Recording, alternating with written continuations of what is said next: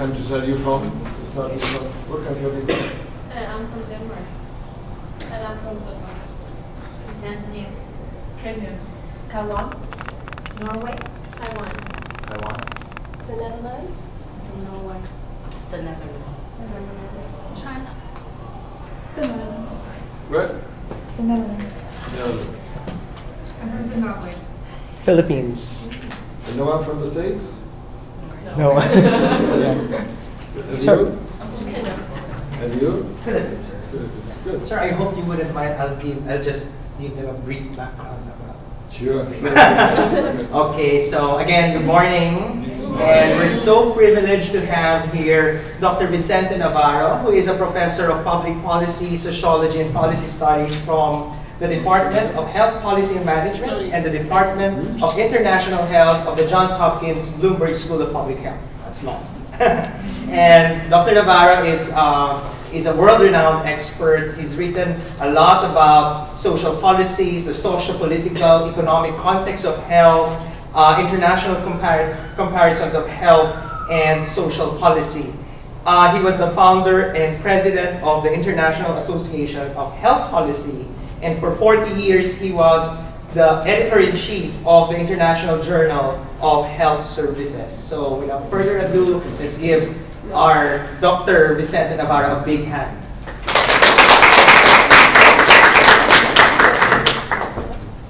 Well, seems to seem to have some problems with, with our computer. Is it shared computer? It seems that we have some problems. Uh, uh, I'm going to talk to you, and if suddenly those lines appear, then I will shift the presentation towards the, the screen. Okay. Uh, let me tell you about, because I want to leave time for your intervention and discussion. So I might make some comments. Bigger. Uh, let me introduce myself. Uh, I'm originally from Spain, uh, Europe. As you know, the United States is a country of immigrants, and everyone is an immigrant in one way or another, except the natives, who were eliminated through a process of genocide. Otherwise, everyone is an immigrant. So, anyway, I was in Spain and I did to study medicine, and I graduated in medicine. Uh, at that time, 1962, Spain was under the fascist dictatorship. I didn't know how many of you uh, know of General Franco. He was an ally to Hitler Mussolini uh, in the 30s and the 40s. I was profoundly anti-fascist and I became very active in the anti-fascist underground in Spain, fighting against, against uh, the dictatorship. I was a physician uh, in Barcelona, the country that originally, the city I originally came from. And uh, and while doing clinical practice, I was also a member of anti-fascist.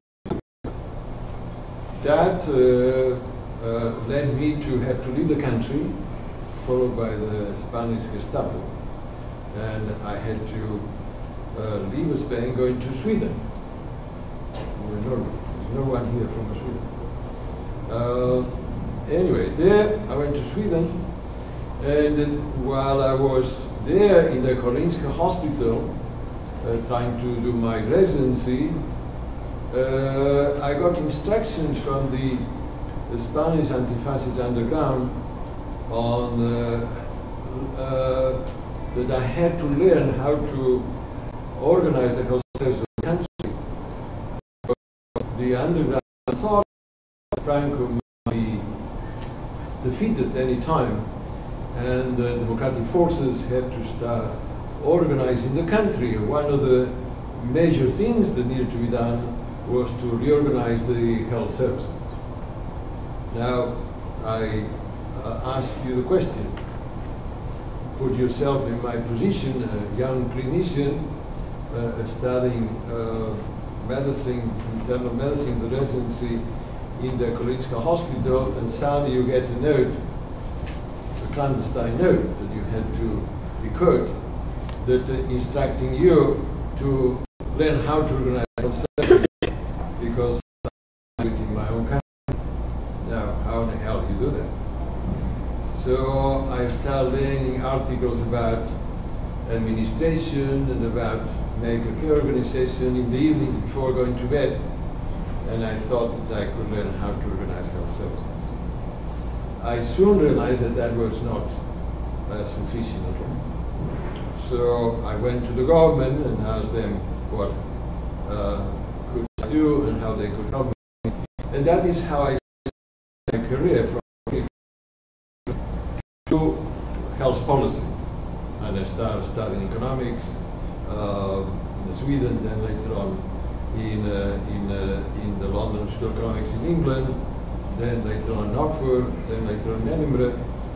And uh, while in Edinburgh, at the time I was focusing on what be called medical care policy, I wrote as part of my doctoral thesis uh, uh, a thesis that called quite uh, attention and led to Hopkins' invitation to come to Hopkins in 1965. So I have been here almost half a century, double the times of your lives. uh, anyway, so I came to Hopkins, and since then I'm here at Hopkins, uh, actively participating in the uh, life, academic life of the United States. Yeah. Yeah, it is the What's note. that? Well, when you start a slide, let me know. I Which- know. I don't know if Which you file? Excuse me. Sorry.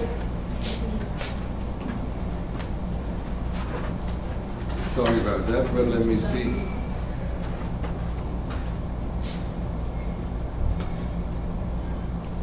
Let me, um, that might be too complicated. Let me get it off and I'll do it without the slides. Okay. If you could make sure that you get that. Yeah. You see, the country of technology uh, has serious flaws in terms of technology, so don't believe that in the United States.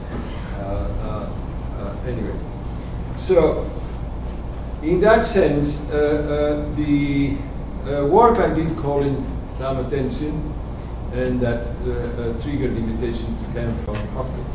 Hopkins is a known medical institution as well as a health policy institution. It's very close to Washington, center of the federal government, and in that respect, health policy is a subject that uh, relates to government in one way or another. Uh, and when Franco uh, died, I was able to go back to Europe, in Spain, and I was the European Union, advising the European Parliament on many things having to do with health policy. Now, uh, let me tell you about what I have learned in that process that I was thinking while driving here, which I got, uh, uh, uh, I got in the wrong Sheraton, and waiting and waiting and these students are not very punctual, damn. And I realized that I was in the wrong Sheraton, so it was my fault. Anyway, so, and I was thinking what I can tell this young group of young people about that can be useful to them. Uh, one of the things is that you have chosen a very important profession. I understood you all in medicine, is that right? Uh, that is an extremely important profession. Uh, uh, most of my family members are physicians. Uh, we're speaking about the 50s, that men will be physicians and women will be teachers. That has changed. Now, now we have many uh, female members of my family being physicians and some men doing teaching, so that is a good change.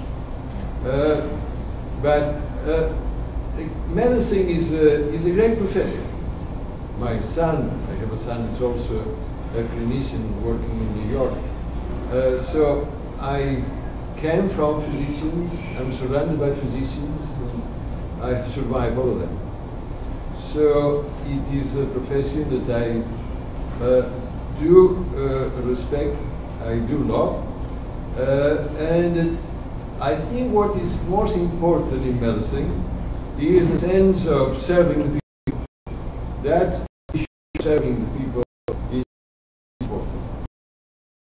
Because in some countries, including our own United States, uh, medicine has been commercialized in a very large degree, and that is not good for medicine or for the population.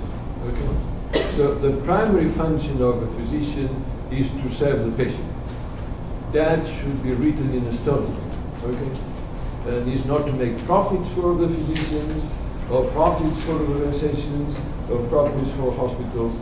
That is not the primary objective that you have and you have to serve. Your primary objective is to serve the patient and the potential patient, which is the citizen. Every citizen is vulnerable to get this sick. Okay? So you are at the service of the population. Okay? And you have chosen a profession that uh, demands of you to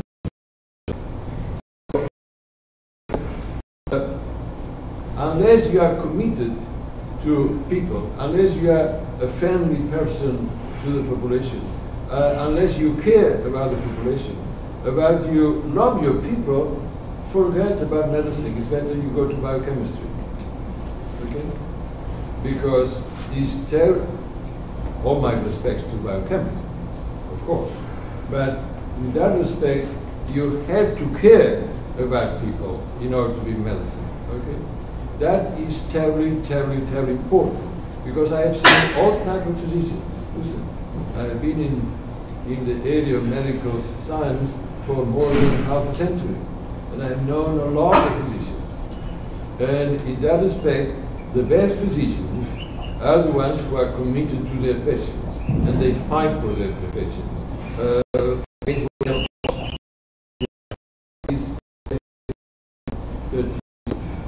get that message. Okay? You'll say, well, that is obvious. Well, that is common sense. But unfortunately, common sense sometimes not very common. Okay? so it's very, very important that you capture that, uh, that your commitment is to the population. That famous sentence, serve the people, is as important in China when that sentence was pronounced, serve the people, as in Baltimore, United States. Okay? Serve the people is a critical element of a physician. That is the first thing.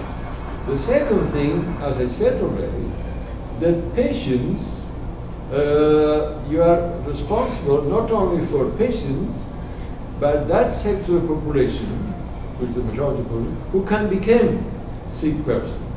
Okay? So all persons can become sick persons. Okay? And you are committed to all of them, not only to those who came to your office, but those who not came to your office, you are also committed to them. You see. So, and you have to do whatever you can to make sure that person don't need to. That is what is usually called as either preventive medicine or in a broader sense public health. Okay? In clinical medicine you go one by one. In public health you have millions millions. Okay? You might not even have contact with your patient, but you have a responsibility for millions of people who can become uh, uh, patients. You see, that is terribly important. And how? In two different ways. Okay. One is that in that respect, you do have enormous prestige, well-deserved prestige in the population in any village, in any country, in any place, a physician is the subject of a respect. Okay? And uh, at that point, you don't have influence upon people. Okay? So if you have the chance to tell people to stop smoking, uh, that is very important because you have an authority that another professional might not have. Okay? But in order to gain credibility, when you have to say people change their behavior, either smoking or eating or not doing exercise and so on, uh, eh, you have to do it yourself. So you not, cannot tell a patient to stop smoking while you're smoking a cigar. It's obvious. Okay? But on the other hand, uh, in order to gain credibility, you have also to make recommendations not only to the potential patients but to the institutions that they should change to protect the health of the population. What do I mean by that? Well, one thing is that you might uh, advise the society in general, as well as your patients, they should not eat much fat. They should not eat certain products. You should not. That is, you should do. But it's not. You also taking. So you should advise those authorities who have authority, who have power to change things, that they should in, uh, uh, intervene in the manufacturers of that food, not produce that food hurt people, or inform the people about the nature of that product. You follow me? So you are not supposed to only intervene on individuals, but also on those forces who create disease. And there are a lot in our society. Okay? So you are, as a physician, you have to be aware that in your society there are enormous, powerful forces who create disease. as a physician had to oppose that. That is part of you serving the people. You see what I mean? So it's not enough to say, listen, you have to start smoking, unless you also criticize the tobacco industry for promoting the tobacco. Okay? Or you cannot say, well, that uh, uh, beverage contains too much sugar without intervening on the producer of the beverage to change that sugar composition. You see what I mean? That is something the clinicians do not tend to do, and they are wrong on that. And they do not tend to do because they want to avoid problems. Well, if you are afraid of creating problems, go to biochemistry. Don't choose medicine. okay? okay? Because if you really care for the health of the public, you will have to confront very powerful figures. Okay? You have to confront very powerful forces. Okay? When I had to go front the Congress of the United States, the representative of the United States, uh, I know what I'm saying is not going to please many of the people sitting in front of me in that committee who are very close to the uh, uh, uh manufacturers of food that are producing food that is not good for the population. You see what I mean? So this is terribly, terribly, terribly important. Okay, you have chosen a profession. I, difficult for me to imagine a more rewarding profession, but it requires commitment to people and courage. Uh, child people, or they do not want to get into trouble, and so on, they are paying the neck they better get out of the medicine because they become a problem. Okay? So that's a very point. Okay. Which leads me to the qu question that I wanted to raise today. Uh, can I have the, because I don't want to forget my uh, one of the things we're seeing today is the enormous growth of inequalities. Okay? And what we mean by the growth of inequalities is, well, the people who make a lot of money makes too much money uh, regarding the average other ones who don't have much money. Okay, so we say United States the uh, inequalities have increased dramatically. We merely think in terms of income terms. Okay? Uh, so those make 4,000 times more. Okay? Well, that's why that. But I encourage you as a physician that inequalities means mortality differentials. Okay? Uh, what does it mean? Income is a good proxy. What you are interested is in the health of the population. Okay?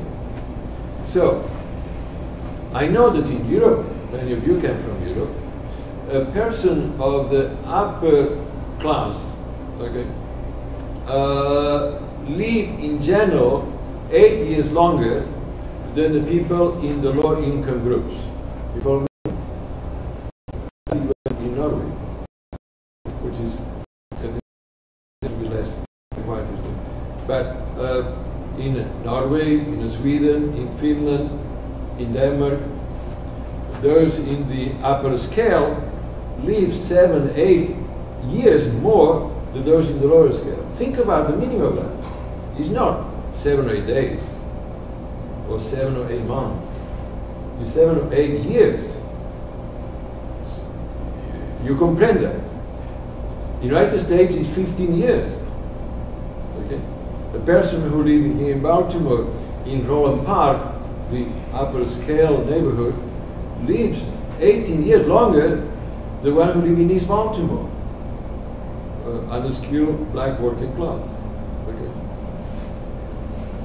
Wow, that is quite a range. And those increasing. Well, you as a doctor cannot be silent in front of that situation. You have to have a, that is something that you as a physician had to protest. Because some people, imagine, if everyone would die uh, with a mistake the top, we save a lot, a lot of lives. You follow? uh, let's say, in Europe, so many of you come from Europe, uh, more or less, those on the top, the will be, more you say, bourgeoisie, petit bourgeoisie, the middle class, and the working class. Now, in the United States, we don't use that term bourgeoisie and petit bourgeoisie. It sounds too French. You see, it's called the corporate class and not the middle class. You follow me? Okay.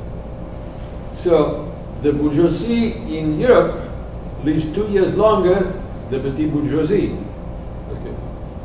who lives two years longer than the middle class, who lives two years longer than the working class, skilled working class, who lives two years longer the unskilled working class, who lives two years longer the unskilled working class who has been uh, unemployed for more than a year. Do you follow me? The between the top the bottom is 10 years. You follow me? Well, wow, it's quite a difference. As I said, United States is 15, 18 years. Okay. Uh, are we paying three to stay that in China? Like in China now even larger mortality differences. Okay? Because the income in, the inequalities in developing countries even much larger. And see, China has the wealthy net growing so fast, it's like the mortality differences are even much larger.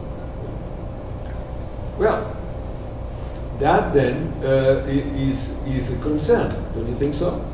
If you are committed to minimize death, which is the other side of the coin of optimizing health, then that is an issue you should be concerned about. Okay? Imagine if everyone in Europe died uh, respect not only those who are in the low income groups, but if a member of the petite bourgeoisie would die at the same time the bourgeoisie, there are a lot of uh, deaths will be prevented. You see, the middle class even more, working class even more. You see, so that is why that is terribly, terribly important. That those inequalities means a problem is a health problem. Okay, it's not only income differentials, it's also mortality differential. You see what I mean? Do I explain myself clear? Some of you don't move your head and I don't know where I should shout so you get awake or, or that you do not understand. Do I explain myself clear? Okay. So, in that sense, that is why to start touching very sensitive issues. Say, well, hell, I've learned how to uh, control uh, the tension, hypertension, uh, but I didn't know anything about that. Well, you better learn about it. You better take a stand. You are members of an association, and uh, when an association makes a stand, has far more influence than not one by one. Okay. When the American Medical Association of the United States uh, makes an does have more weight than not uh, uh, every physician makes that a statement. Okay. Uh, well, the same in terms of the International Organization of Students. You had to take a stand on that. Uh, today, the major characteristic of the times we live is the enormous growth of mortality differentials. within countries as well as within countries. You see, uh, that is a very important thing, uh, and I advise you to do so. I'm making a specific plea to the association that they then do something about it. Okay? Uh, as physicians, future physicians you are. Okay? It's your responsibility. Okay? If it's not done, it's because you don't want to get into problems. Then please go to biochemistry. Okay? Uh, oh, well, I didn't know enough about it. Oh, come on, you can learn about it. Okay? It's not so difficult. So, and in that sense, very important component. Now, uh, within that line, those of you who uh, are particularly interested in this dimension, what is now called the social determinants of health, which is basically economic, political, and social, I think that uh, you could do it in many different ways.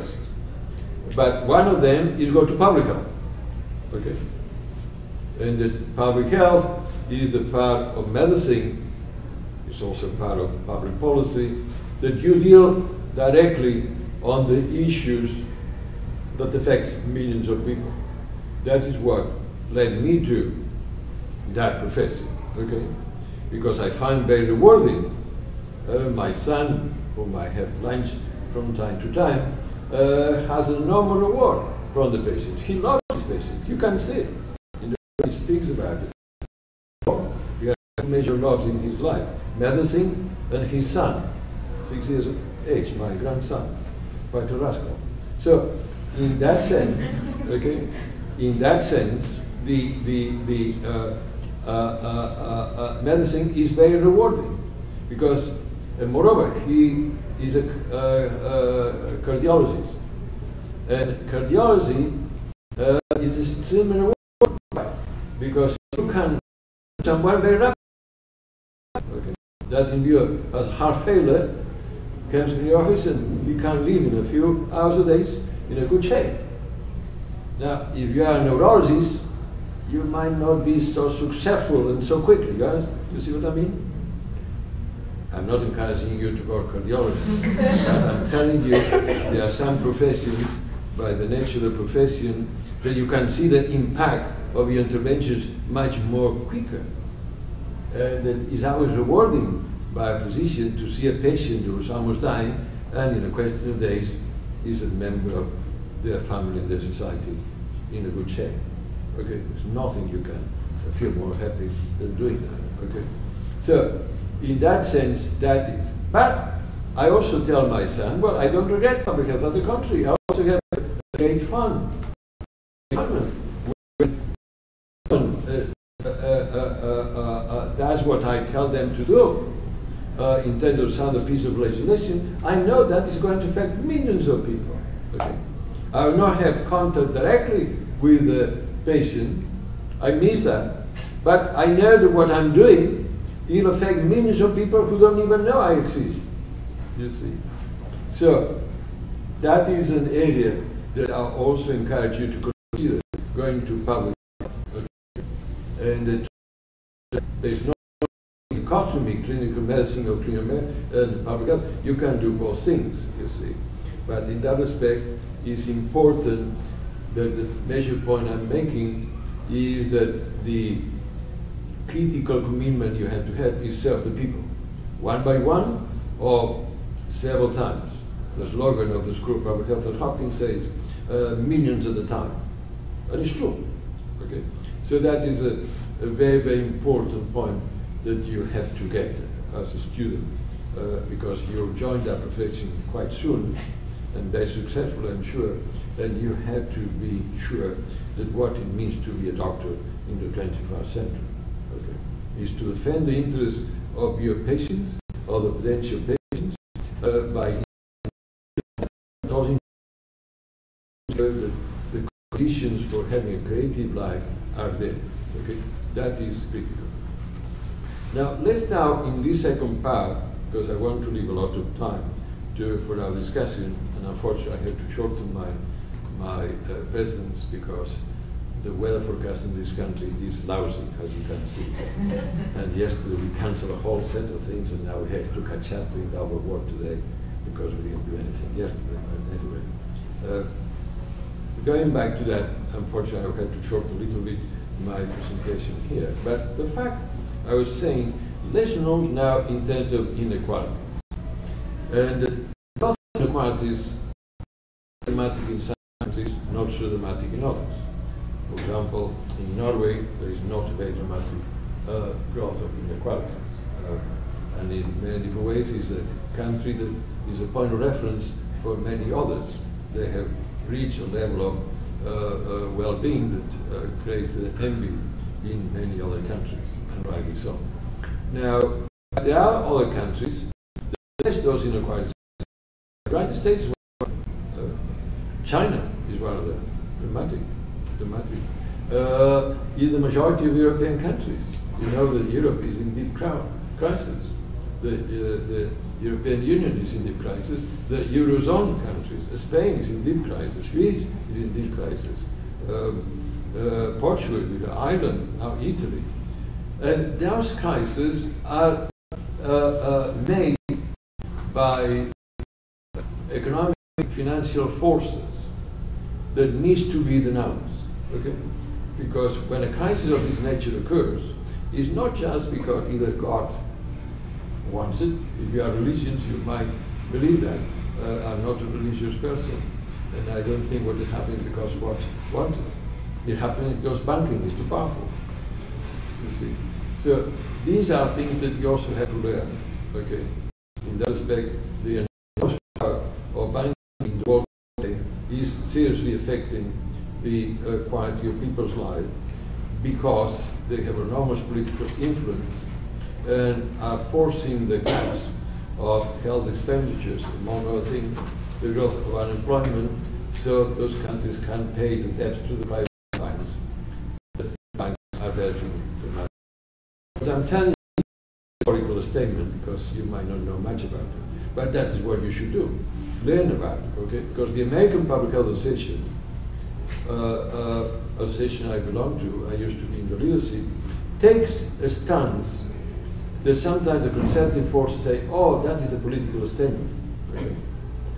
And let me finish this second part by telling you the statement made by one of the major leaders that have existed in medicine and public health.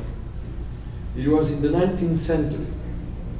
Uh, and let me make a little history of Hopkins. Hopkins is one of the leading medical institutions in this country. The medical school and the School of Health are uh, usually rated as among the best in all these things that uh, beliefs they uh, were enchanted about. Uh, this was uh, the first medical school that this country had. And the model was very much imported from Europe, from the German model at that time. And it, but in Germany, in the 19th century, uh, there was a concern that some infections were being spread very extensively in Germany, that time was in power with Austria. And the power structure of Germany asked the famous uh, physician by the name of Virchow. How many of you have heard about Virchow? Okay, good, good, good. He was a pathologist, but he was asked to go to those parts of Germany had those huge infections uh, we call gastroenteritis, and to try to see what could be done to solve it. And Dr. Virchow uh, went to see. And when he came back, wrote a famous report called the Virchow Report that said if you want to resolve these problems, you have to change the pattern of water control, who controls the water systems, the housing systems, and a whole set of interventions. The power structure, where the ones who control the water systems, the housing, and so on, felt threatened and told Dr. Virchow, Dr. Virchow, that is not a medical document, that is a political document. And Dr. Virchow answered to the power structure Well, politics is medicine in the broader sense. Okay. He said, when I medicine is a social. Politics is medicine in the largest scale. Okay, that is that should be written in a stone in all the entrance of the medical schools in the world. So when someone tells you, "Oh, that is politics," uh, is a way of trying to put you down. Okay. But you, ours should be a scientist. What motivates your actions is knowledge and science. And that might be very much against what the conventional wisdom might be. But if you, uh, your knowledge lead you to that position, you have to stand up for that position. Okay? And they will try to make and you say inequality is wrong. There are political forces who do not think that inequality is wrong. There are political forces who think, well, you see, there are people who are more intelligent, that's how they explain it, and they can make it better. And they justify inequalities. They will marry using example. Okay? They will tell you all and those political forces or economic forces of you know, are extremely powerful in our political systems. United States, they have enormous influence on the Congress of the United States. Okay? So in that sense, you have to make a statement of this nature. Because the problem is not only inequalities, the problem is those who generate, reproduce, and promote inequalities. Okay? And that is the issue that should be much aware. Okay? So what I was trying to do in the presentation was showing empirical data to support everything I'm saying.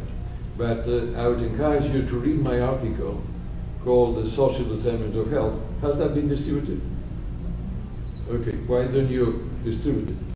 And and that way, uh, that everything that I've been saying can be sustained by empirical scientific data. Okay? And now let me finish here and invite questions and things like that. Is that okay with you? Yes. Good. Okay, now start shooting. Do you have a question? Yes, ma'am. Yeah. Go ahead.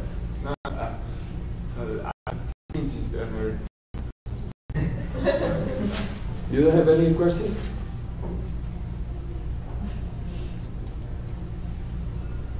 Sir, can I start the ball Yeah. rolling? yeah. Um, actually, sir, I discovered about you when I read an article. I think it's about uh, your reaction to the Commission on Social Determinants of the World Health Organization, and you said there that because the message of the Commission was that social inequalities are killing people at a grand scale, and it's a matter of social justice, etc. But you mentioned that it's not inequalities that kill, it's those who benefit from the inequalities that uh, kill. Did I say correctly, sir? Yeah, so now my question is how can we, how we, medical students and the health community can, you know, try to, can oppose or can, can, uh, can counter these forces that perpetuate these inequalities and benefit from them. Good. WHO is, as you know, the health branch of the United Nations. And they have done a very good job in many different fronts. But in other areas, they tend to be extremely cautious.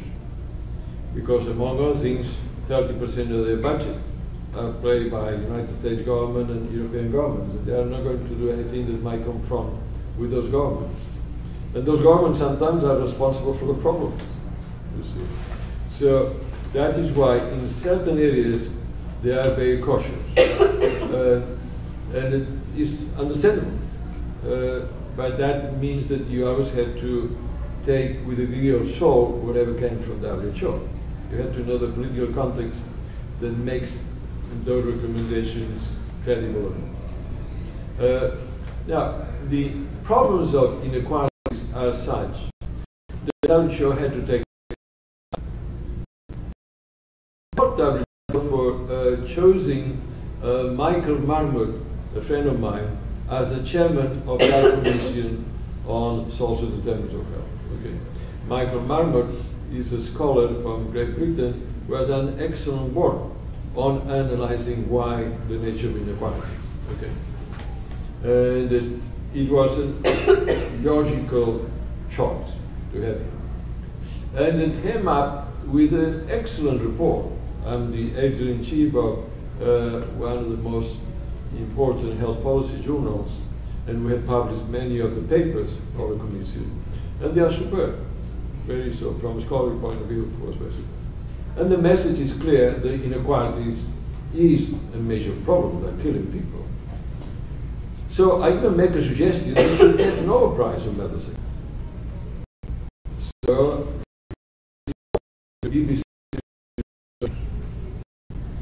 Having said that, I added, but it's a WHO report, and therefore there are limits as to what they can say.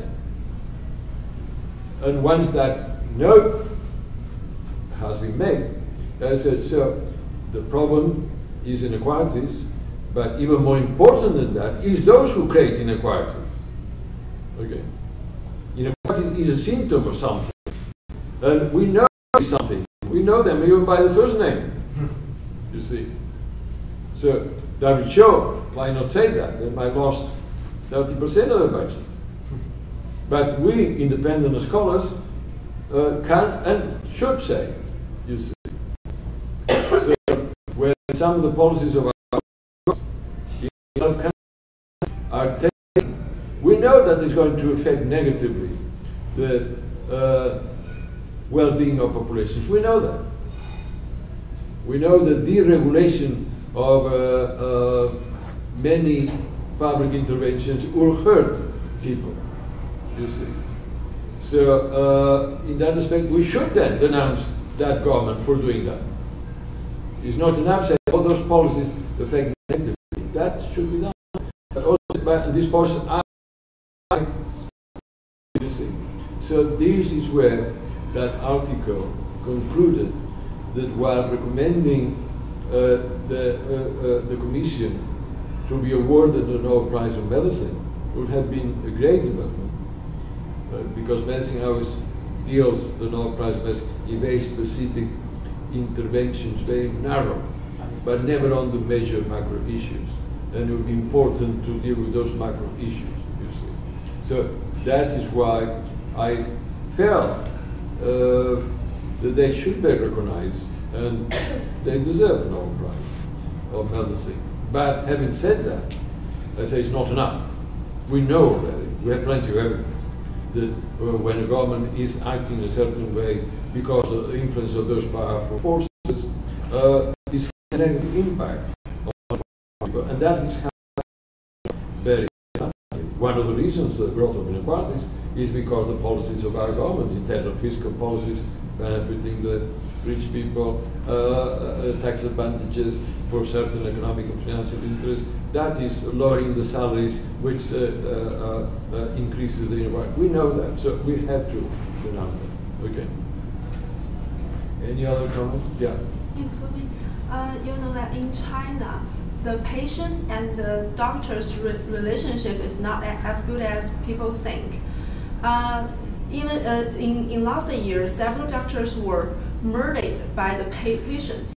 And uh, this, this uh, uh, medical students should uh, put their goals in, into uh, become a good doctor, you, you say, and just uh, uh, take it responsibility to save more and more people, people's life.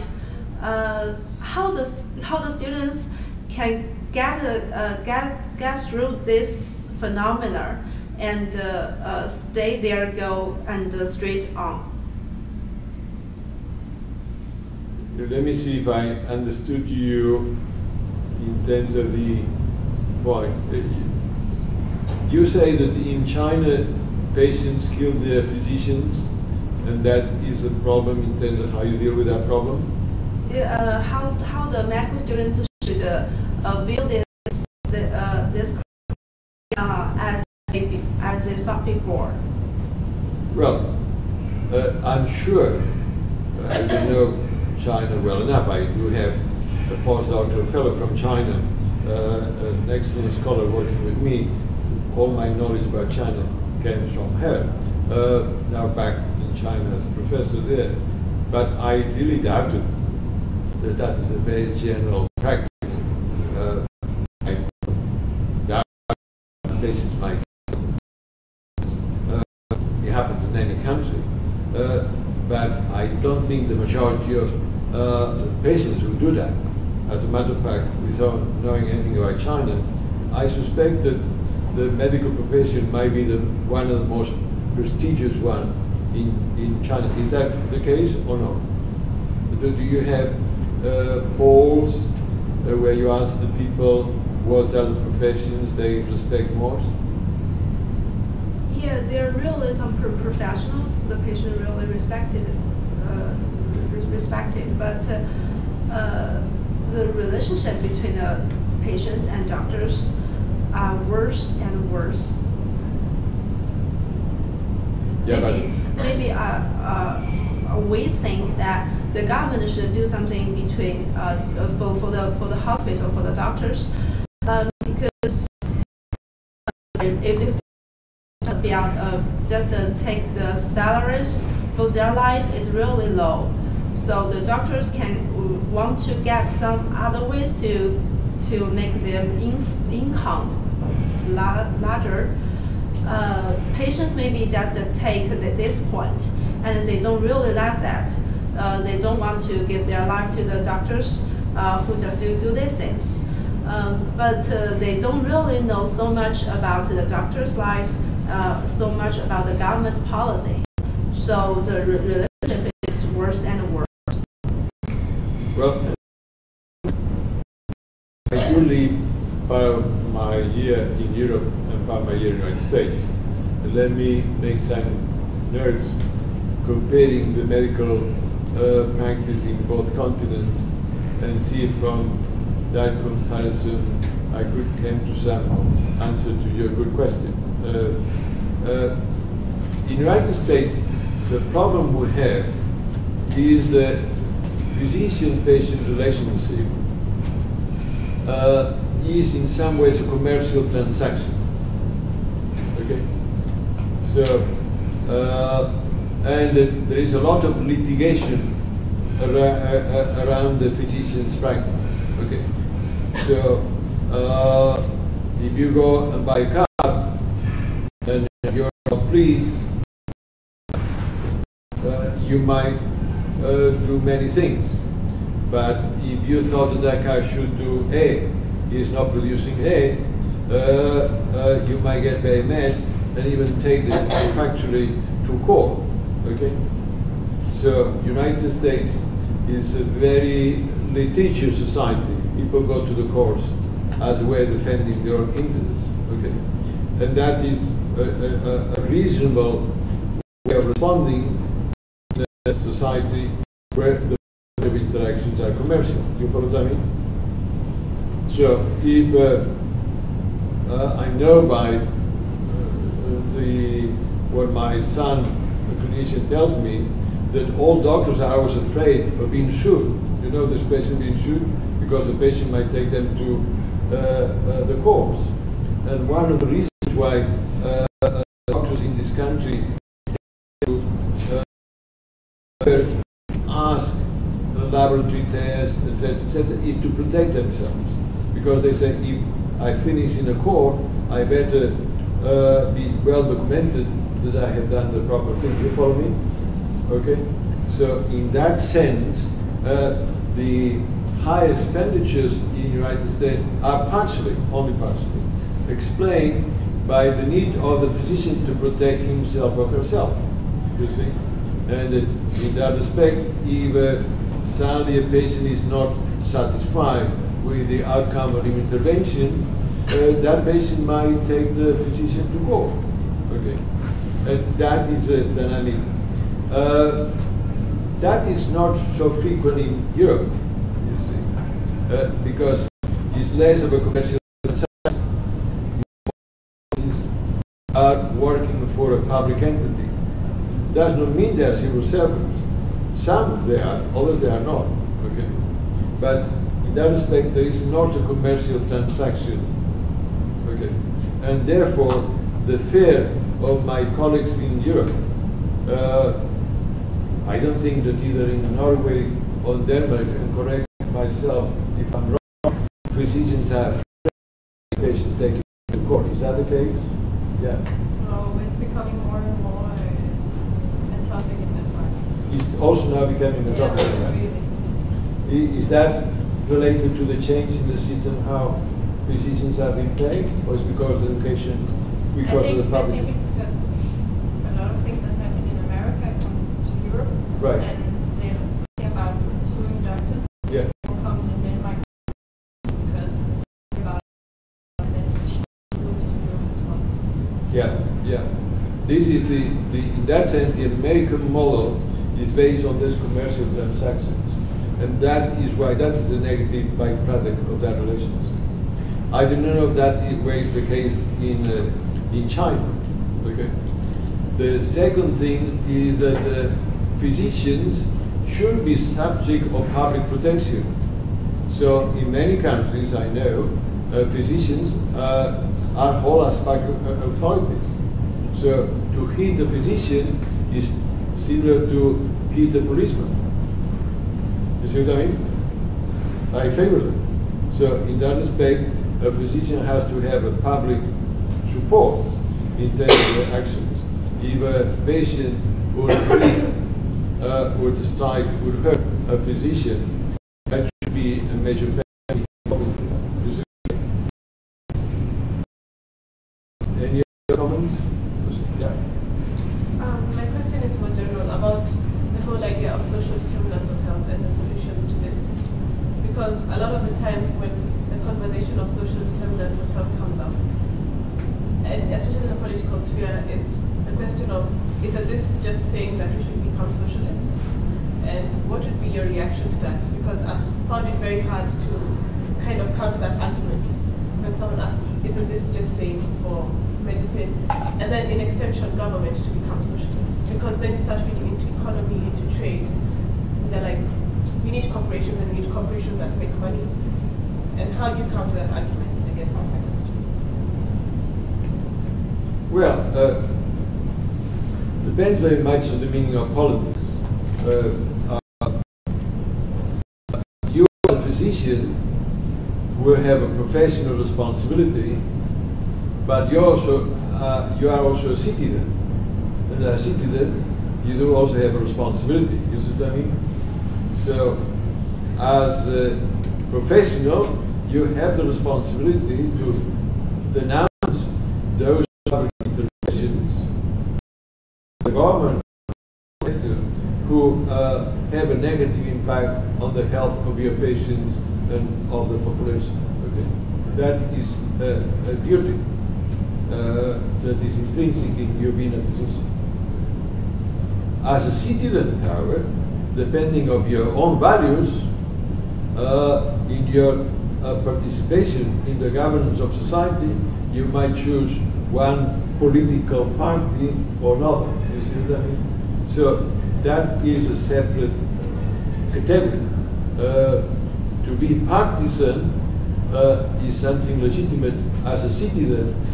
To be partisan as a professional, you have to be careful not to lose your credibility, because the thing that has to motivate your intervention is science. Uh, the thing that motivates politics are values. what motivates your profession is. You see that? So, in that sense, uh, uh, I'll be sympathetic to that point you raise, but uh, that as a citizen, uh, so in that respect, and that is important uh, because it is true that some political traditions uh, tend to serve the population, majority of the population who belongs to the other instruments, political instruments, that tend to favor more certain uh, economic and financial groups. Okay?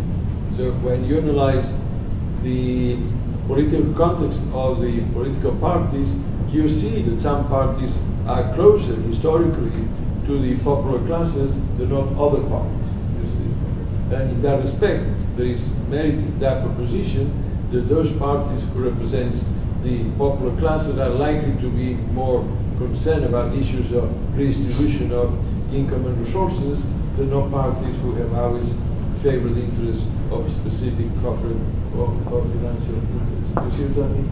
So, in that sense, uh, the, uh, that is very clear uh, in United States, but not only United States. In Europe, or what country you. But I'm the same in that respect, uh, uh, uh, we have United States political forces who do not consider redistribution as a major issue. Others who consider that an important issue as a citizen, uh, you have to act according to your values. Uh, it's not surprising that those professions that tend to be more inclined to serve the people tend to have more sympathy towards those political forces who are, uh, in that respect, favoring the interests of the common class. Any other? No.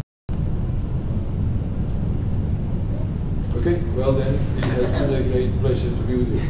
Okay, good. That's right. Thank you.